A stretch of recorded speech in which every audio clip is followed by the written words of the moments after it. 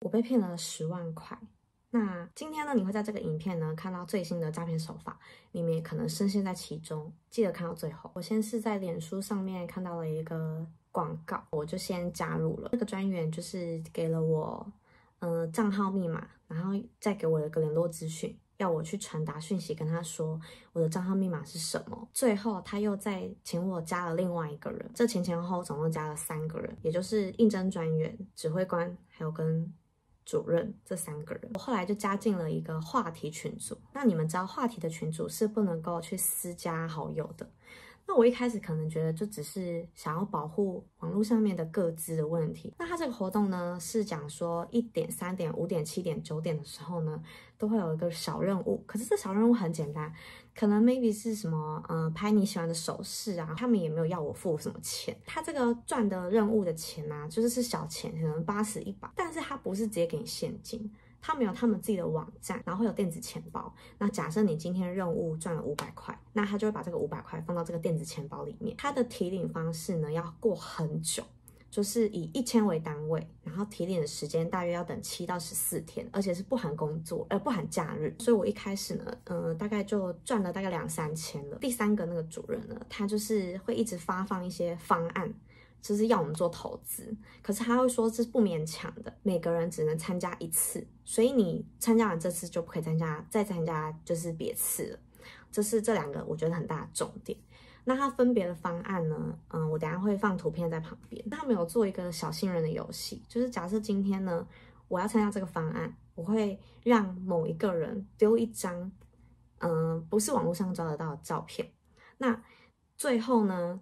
这个人他提领到金额之后呢，他再把这个照片就是丢到群组，让我们大家知道这确定是他本人。他们是说提领的时候要先退出群组，才可以再回来。这时候我其实那时候就已经有在怀疑了，但是他他们讲的意思是说，因为提领的金额很大，所以呢可能会影响到数据，所以不能够留在里面。他当时呢就带我们玩了一个很像投资的博弈游戏，就是赌赛车。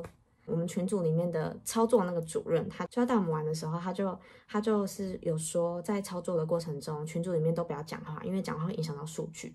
我一开始还不相信，可是呢，真的就是他们我们有下注一次的时候，有人讲话了，结果那一场就是输了。而且这前前后后呢，我在参加任务提领的过程，我确实有拿到一千块的，就是我提领下来确实有成功，所以我开始慢慢的对这个这个群组里面的人开始有产生信任感。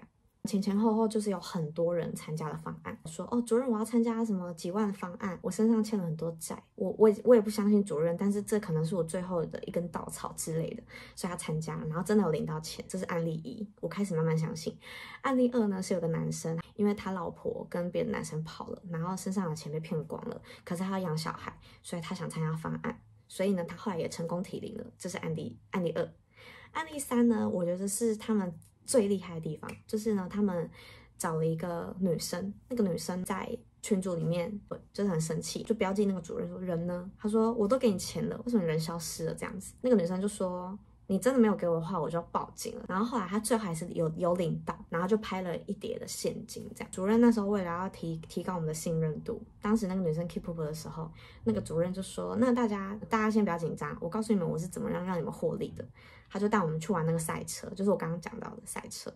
然后他就说：“我没有要你们自己去玩，是由我去操作，所以你们不要自己去玩这种博弈。”这是他增加我们对他的信任度的另外一个点。但其实我现在回想起来，我就是觉得，怎么可能有办法立刻就是提领到这么多的现金？这件事情并没有到十分钟，所以我觉得是我愚蠢。因为看到这些例子之后呢，我就觉得，哎，好像可以来参加看看。而且因为他说过嘛，会员只能。参加一次，这是他聪明的地方。所以在选择的情况下，我们就选择最高金额，因为只能参加一次。所以我那时候一次呢，就丢了十万块进去。那你们现在一定要记得一件事情：诈骗的黄金三十分钟，就是在你汇款的当下，汇款到这个人的账户的这个三十分钟呢。假设你在三十分钟内报案。警方那边是有办法立刻去冻结这个人的账户。这个主任他就是做了一个让我完全相信他的事情。我汇款完之后，他跟我说他要去确认金额，他去 ATM 排队，所以要等他一下。这是疑点一。那排队，他故意在拖我时间，他为了就是要拖延这个三十分钟的一个黄金时间。然后拖延完之后，确定金额之后呢，因为要提领嘛，他就跟我说要请我稍等一下，因为现在的提领的人很多，所以金牛公司这边在迅速的帮我处理。那他提领的时间呢，大概抓了十五分钟，所以他前前后后呢，包括他看账户的时间，加上金流对账的时间，他就花了半个小时的时间。他很聪明，所以他让我不疑有他的觉得。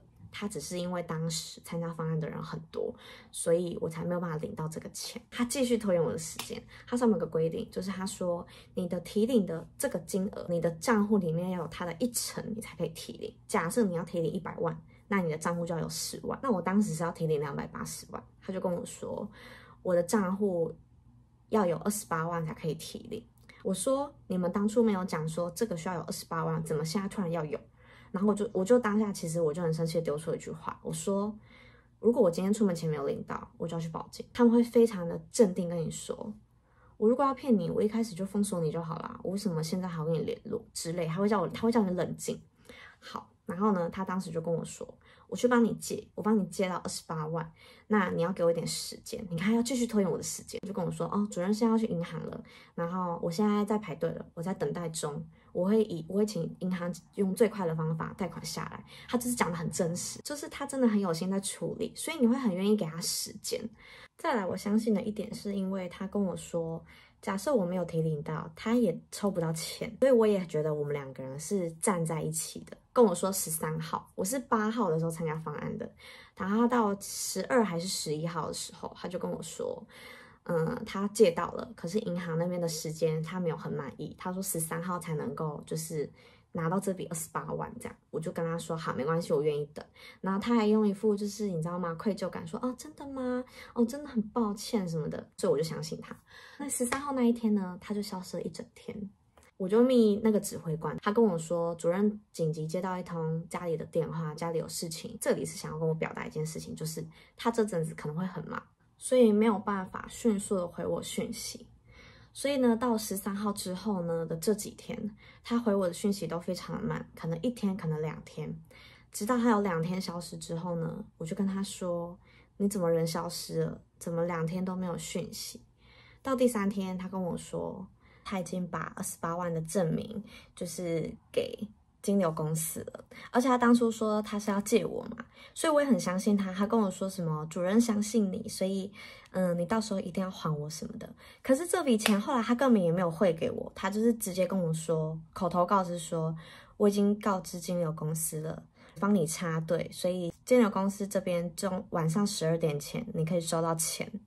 结果我当然就是没有领到啊。然后主任跟我说，是因为金流公司那边查到他帮我借这笔金额，因为公司是不允许的。后来当然呢，因为我等不了他一直这样帮我借，所以我就跟他说：“那我这边有二十八万证明给你，那你尽快帮我处理。”结果呢，他就一天两天没有回复我了，因为他的家人过世了，所以他这几天要处理一些丧事类的东西。然后呢，到这里呢，我其实就已经开始觉得有点瞎了。我就跟他说：“那请尽快帮我处理。”结果呢，到了周四我回他，我密他，然后周五密他，他都是已读我的状态。然后到这里呢，就是我已经知道我被骗了，所以我跑去警察局报案了。结果呢，警察局帮我查我汇款的那个账户。他被通报了七次，二月八号到现在其实已经有好一阵子了。我是到二十四号的时候才真的去做报警的动作。那所以这些天数呢，呃，警方已经告诉我，就是钱应该已经被领光了。希望这个东西可以让大家知道，就是真的不要太相信 FB 上面的一些打工啊之类的。再来就是呢，他们很聪明的避开了一些避免可以避免被抓到的问题。